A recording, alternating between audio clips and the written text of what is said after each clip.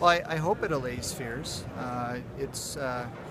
believe it or not, there's a timeline for making these decisions, and, and this announcement is consistent with that timeline in terms of when,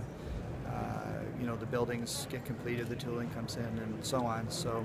but uh, I, I hope it's interpreted as, uh, as a sign of our uh, GM's commitment to Canada and uh, uh, what we think about the workforce and uh, what they've contributed to the company, what we think they contribute uh, going down the road, and the, uh, the investment environment here in Ontario and in Canada.